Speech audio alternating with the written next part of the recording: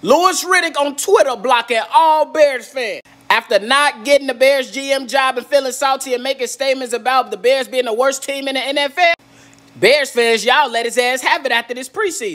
Y'all the reason Louis Riddick is now hosting a block party on Salty Road. Events will include a Glizzy Gobbler contest, a In Your Feelings dance-off, and a Why I Should Have Been the Bears GM pep rap. Shout out to y'all Bears fans. Let's see if we y'all can go get blocked today.